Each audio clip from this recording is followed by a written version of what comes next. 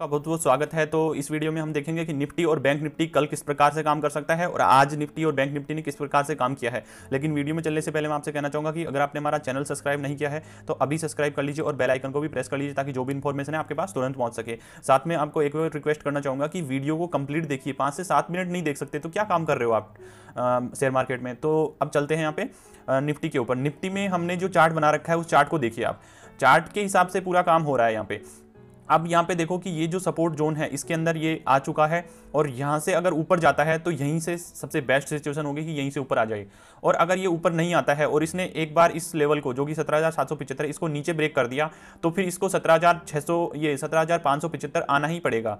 क्योंकि अगर ये सत्रह नहीं आता है तो फिर इसकी करेक्शन पूरी नहीं होगी और ये फिर से नीचे आने की कोशिश करेगा यहाँ पर वापस जाने के बाद में। तो इसको काम पूरा करना है तो यहाँ तक आना चाहिए। और अगर यहाँ से ही ऊपर चला जाता है तो ठीक है, कोई समस्या नहीं, ऊपर जा सकता है। अब 15 मिनट पे चल के देखते हैं कि 15 मिनट पे कल किस प्रकार से काम कर सकता है। 15 मिनट पे आप देखोगे तो यहाँ पे आपको दिखेगा कि ये जो स्विंग है हमने बन, कल ये जो नीचे की साइड में बना हुआ है हमने बात की थी कि यहाँ पे सपोर्ट ले सकता है। तो इसने देखो सपोर्ट भी लिया और आज ओपन हुआ और थोड़ा सा नीचे आया फिर इसी का सपोर्ट लिया फिर ऊपर गया ये।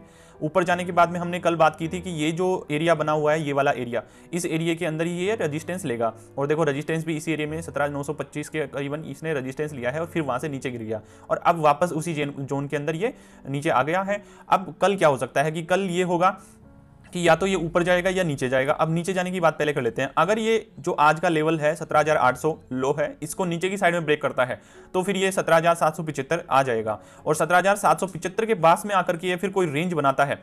सत्रह सात सौ पिछहत्तर के बाद में कोई रेंज बनाता है और उस रेंज को ऊपर के साइड में ब्रेक करेगा तो काफ़ी तेज़ी से ऊपर जाएगा और नीचे की साइड में ब्रेक करेगा तो फिर काफ़ी तेज़ी से नीचे भी आएगा ये। अब इसके अंदर मैंने एक ट्रेंड लाइन भी और बना रखी है। ये देखो ट्रेंड लाइन जो बनी हुई है इसमें आप देखोगे कि ये बार बार में इस ट्रेंड लाइन का ही सपोर्ट ले रहा है।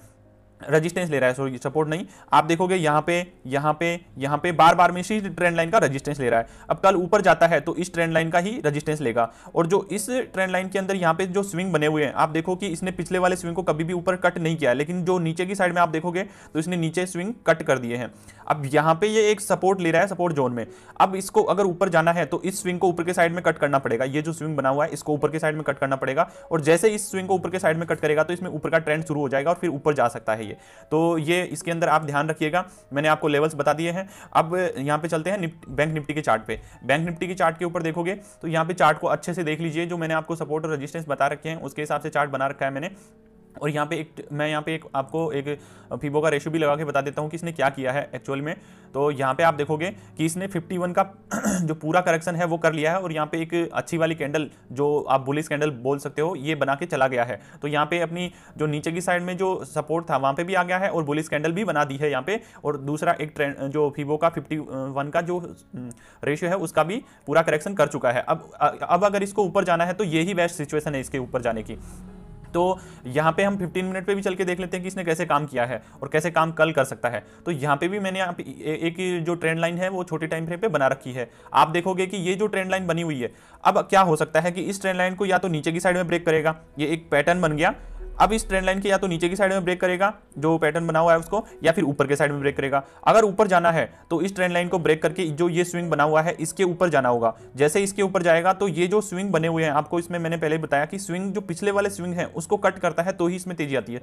इस स्विंग के जैसे ही ऊपर जाएगा तो यहाँ पे काफ़ी अच्छी मूवमेंट होगी इसके अंदर, और यहाँ पे फ़र्स्ट वाला टारगेट होगा, और जो सेकंड वाला टारगेट इसका लाइन का अपना होगा, ये वाली लाइन बनी हुई है। अब आपको थोड़ा सा मैं इसके अंदर और बता देता हूँ कि अगर नीचे जाता है ये तो नीचे किस प्रकार से काम कर सकता है? तो नीचे जाने पर मैं थोड़ा सा चार्ट को ले लेता हूँ।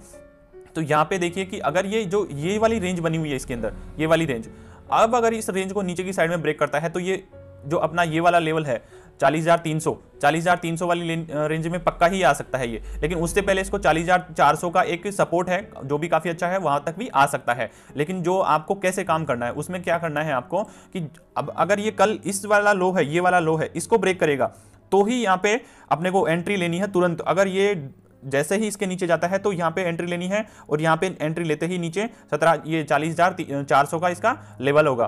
तो चालीस हज़ार चार सौ और फिर चालीस हज़ार तीन सौ का इसका जो टारगेट होगा, वो होगा।